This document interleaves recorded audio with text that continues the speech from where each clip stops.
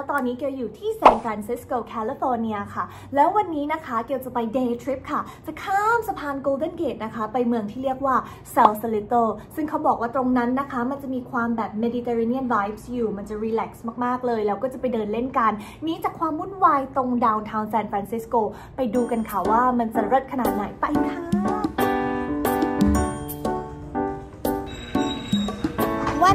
อากาศสดใสเราเริ่มต้นวันที่ Fisherman's Wharf มีผู้คนมากมายตื่นเช้ามานั่ง cable car และก็ขับรถโกคาร์กันด้วย ขณะนี้เป็นเวลา 10โมงเช้าและเกลก็กำลังหาอาหารเช้ากิน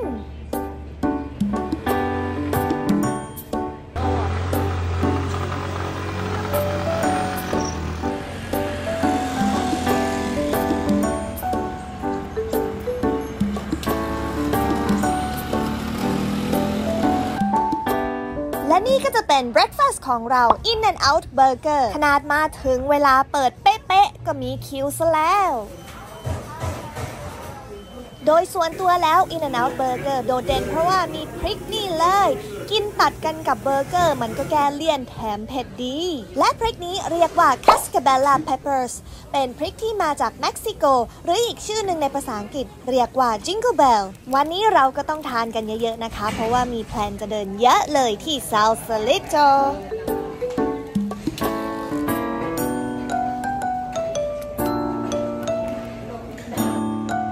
านเสร็จแล้วก็ไม่รอช้าค่ะ รีบเดินไปซื้อตั๋วเฟอร์รี่กันเลย เฟอร์รี่รอบแรกนะคะ ออกเวลา 11 โมงครึ่งที่เพียร์41 แต่ว่าถ้าใครอยากจะเริ่มต้นวันให้เร็วกว่านั้น ก็แนะนำให้เดินไปซื้อที่ San Francisco Ferry Terminal ซึ่งก็อยู่เดินถัดออกไปอีก แต่ว่าเรือเช้าสุดออกตั้งแต่ 7 โมงเลย แล้วนี่ก็คือบูธซื้อตั๋วของเราที่ Pier 41 ค่าตั๋วก็อยู่ที่ประมาณ 15 US ดอลลาร์ต่อคน ซึ่งวันนี้เราก็มีเพื่อนไปอีกหนึ่งคน และในระหว่างที่รอขึ้นเรือเขาก็มีตลาดนัดข้างๆ ให้เดินเล่นกันด้วยนะ หรือถ้าใครสะดวกนั่ง bus ก็สามารถนั่งข้ามสะพาน Golden Gate ไปได้เหมือนกัน ราคาถูกกว่านั่งเฟอร์รี่อีกนะ และสำหรับใครที่ร่างกายฟิตมากๆ ก็สามารถขี่จักรยานข้ามสะพาน Golden Gate ไป Sausalito ได้เหมือนกันนะ ใช้เวลาอยู่ประมาณ 45 นาทีถึงชั่วโมงกว่าๆก่อนแล้วแต่ความเร็วของแต่ละคน เพราะก็มีหลาย ๆ คนที่ขี่จักรยานขาไป แล้วขากลับก็ขึ้นเฟอร์รี่เอาจักรยานกลับมาด้วย ร้านจักรยานมีเยอะแยะเลยเลือกกันตามสบาย มีแบบจักรยานไฟฟ้าด้วยนะ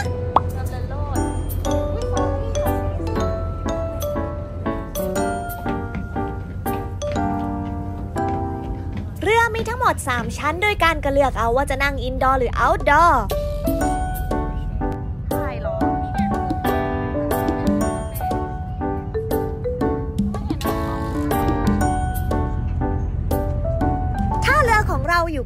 พียร์39 มาก ๆ ถ้าใครรอดูจนตอนจบนะ จะพาไปดูน้องององตรงนั้นด้วย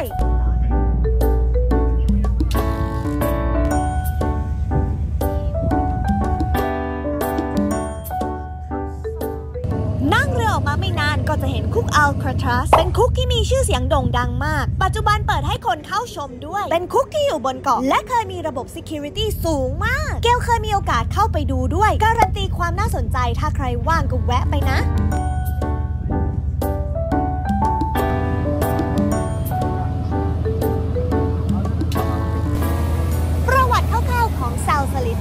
เมื่อสมัยก่อนที่นี่เคยเป็นหมู่บ้านของชาวประมง ซึ่งอพยพมาจากเมดิเตอร์เรเนียน ซึ่งทำให้ลักษณะของ Sausalito จึงดูเหมือนบ้านช่องที่เราเห็นกันในแถบสเปนหรืออิตาลี ตาม Mediterranean Sea นั่นไงเห็น Sausalito มาอยู่ไกลๆแล้ว ในระหว่างทางก็จะเห็นสะพานโกลเด้นเกตด้วย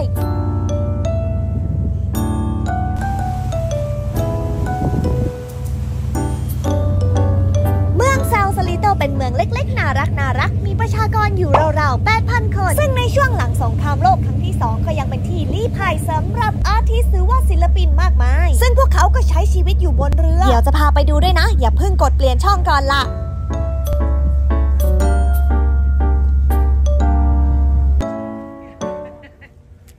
ในที่สุดเราก็มาถึงแล้วท่าเรือ Sausalito เริ่มแรกเราจะไปเดินเล่นที่ Sausalito boardwalk ลมแรงแต่แดดก็แรงด้วยเช่นกัน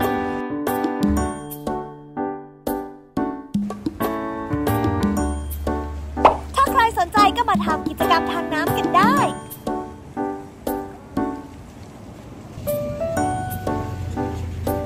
เลนจักรยานที่นี่กว้างมากเพราะมีคนขี่จักรยานเพียบตามข้าง ทางก็จะมีบ้านสีสันน่ารักและดีไซน์แปลกตาเต็มไปหมดเลย ที่นี่เขาขึ้นชื่อว่าบ้านแพงนะไฮโซหรูหราหมาเห่าเหมือนเป็นบ้านพักตากอากาศสำหรับคนรวย เอาบ้านแบบเนี้ยวิวเนี้ย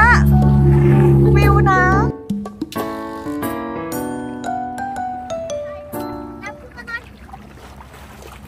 พี่สดชื่นอะอากาศร้อนเอาเอาติดเลย Broad Walk นี่คือยาวมาก ๆ นะคะ สามารถเดินยาวไปจนถึง Golden Gate ได้เลย ส่วนถ้าใครหิวนะก็ไม่ต้องห่วงเลย ร้านอาหารเรียงรายเพียบเต็มไปหมดแล้วแต่จะเลือกกันเลยค่ะ กินลมชมวิวนั่งแช่ไปเลยพาแวะร้านขนมแป๊บนึง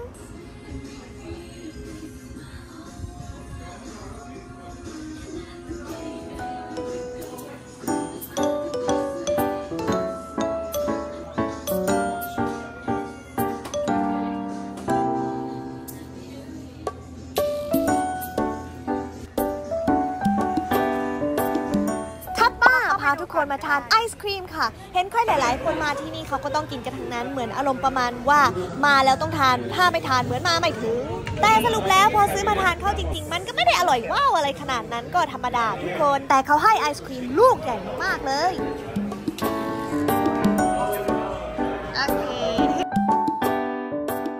และยังเยื้องกัน ก็จะเป็นสวนสาธารณะนี้ ซึ่งคนเขาชอบมาถ่ายรูปกันนะ อารมณ์ประมาณว่าเป็นหนึ่งแลนด์มาร์กย่อมๆ ซึ่งอยากให้สังเกตว่ามีใบหน้าที่หน้าตาไม่เหมือนกันอยู่บนน้ำตกนี้ๆการพมิโกอ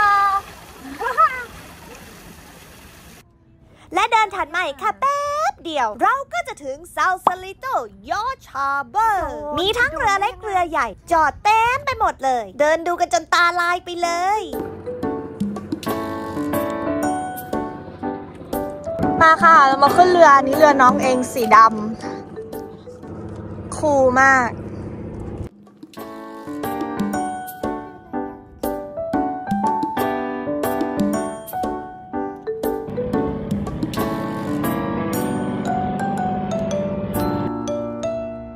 เมื่อกี้นี้ที่เรานั่งเรือเฟอร์รี่มา ไม่น่าล่ะเห็นเรือเต็มไปหมดเลย คนที่นี่เขาน่าจะเอนจอยล่องเรือกันจริง ๆ นะคะและ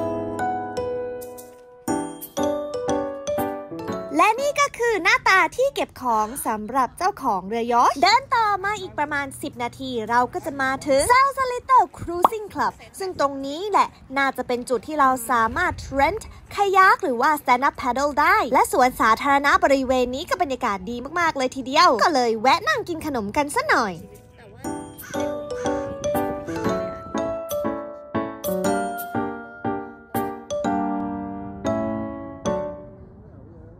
และอยู่ข้างๆกันก็คือ Galilee Harbor Community Association เป็นอารมณ์เหมือนหมู่บ้านเก่าแก่เล็กๆ โดยทุกคนนั้นอยู่บนเรือ โดยคนเหล่านี้ส่วนมากก็จะเป็น artist และ marine worker หรือว่าคนที่ทำงานอยู่บนเรือ ต้องบอกว่าสมัยก่อนมีหมู่บ้านแบบนี้อยู่เพียบเลย แต่เมื่อรัฐเข้ามาจัดระบบก็ถูกไล่ที่แทบจะทั้งหมด ตรงนี้แทบจะเป็นจุดที่ original มากที่สุดแล้ว อันเนี้ยอันเนี้ย welcome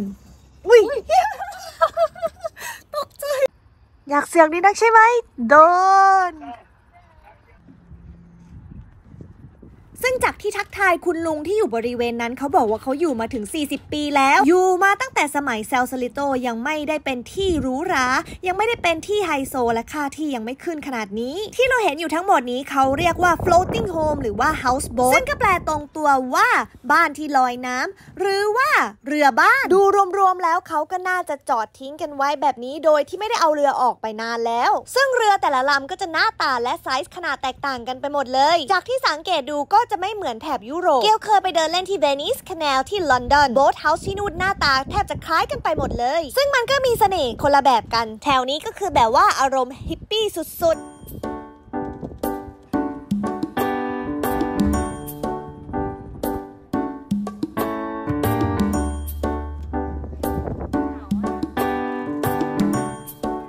บ้านหลังนี้อยู่สุดซอยสีสันสดใสมาก ๆ เลย แล้วดูงานอาร์ตแอนด์คราฟของเขาก่อนมีพระพิคเนตอยู่ตรงพื้นด้วย หลังนี้อยู่มาตั้งแต่ 1910 เขาเขียนเอาไว้เลย แก่กว่าอายุของใครหลาย ๆ คนอีก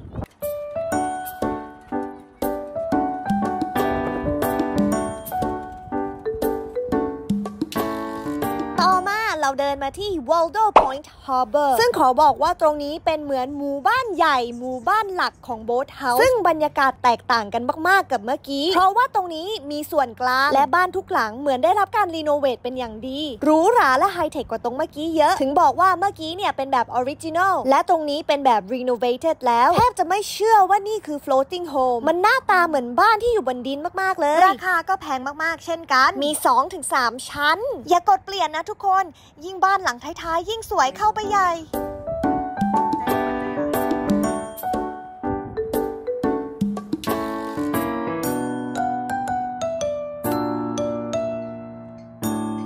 ลองเสิร์ชใน Google ราคาบ้านของ floating home ที่มีลักษณะ 2 ชั้น ราคาพุ่งสูงไปจนถึง 50 ล้านไทยบาทกันเลยนะ บ้านแต่ละหลังก็จะมีธีมเป็นของตัวเอง บางบ้านมีเป็น double volume ceiling ด้วย หลาย ๆ บ้านก็มี balcony หรือว่าระเบียงที่ยื่นออกไปในน้ำแล้วก็มีเรือเล็กจอดอยู่อีกทีนึง บรรยากาศคือสงบเงียบมาก ๆ นี่ขนาดเป็นวันอาทิตย์นะเนี่ย ในวันที่เกลไปเป็นช่วงเวลาน้ำลงพอดีมันก็จะดูขุ่นๆหน่อย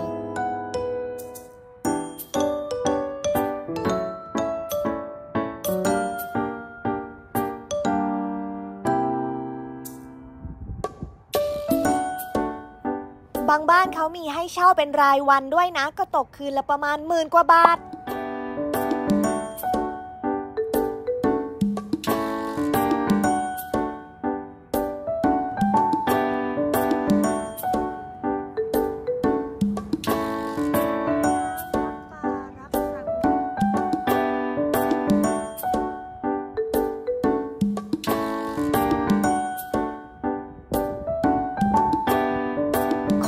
อเวลาเขาขนของเขาก็ใช้รถเข็นเหมือนไปซูเปอร์มาร์เก็ตแบบนี้ เพราะว่าทางเดินมันยาวมากบางครั้งเขาก็อยู่สุดซอย มันก็เขียนไว้ว่า floating home association ทางเดินเล็กกระทัดรัดร่มรื่นมากๆ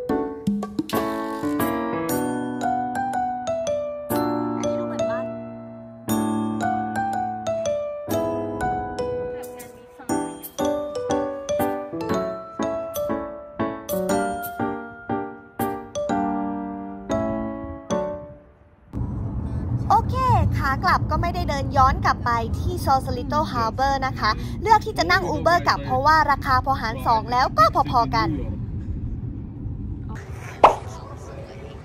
นั่งรถมาลงที่บริเวณ Pier 39 บรรยากาศตอนพระอาทิตย์ใกล้จะตกดินนี่คึกคักเป็นพิเศษสำหรับใครที่ตั้งใจมาดูน้องอุงอุงที่นี่แนะนำให้มาหน้าร้อนนะคะ เพราะว่าหน้าหนาวจะมีจำนวนน้อยกว่าเยอะเลย และก็ให้ระวังนกที่นี่เอาไว้ดีๆ เพราะว่านกชอบขโมยอาหารจากมือคน เคยโดนนกขโมยชูโรสไปกับมือตัวเองเลย están agarrando. Mi mami no tiene saldo, papi.